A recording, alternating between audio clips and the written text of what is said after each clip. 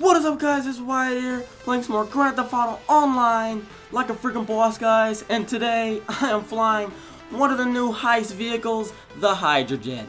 Yes guys, I've got one of my hands on this, one of my, what, one of my fucking hands? I thought I had two hands, Wyatt! Snap out of it, yeah, both of my hands on this.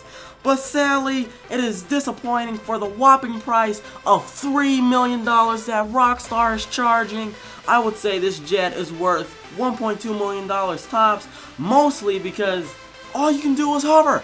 That's basically it. As soon as you take it off, it's hovering. When you're flying in the sky, it's hovering. You can land it hovering. You can't do really anything with this jet. I thought when I got my hands, quotations, on this, I can zip through the sky at a million miles per hour. But no, Rockstar no, you you can only you can only hover in it, Wyatt. You can't you can't really fly a million miles per hour. I mean, it totally sucks. I am not purchasing this, but at least I get to try it before I make a dumb decision by purchasing this when I can go to the military military military base military base and just buy a buy did, did I did I just say buy me one? No.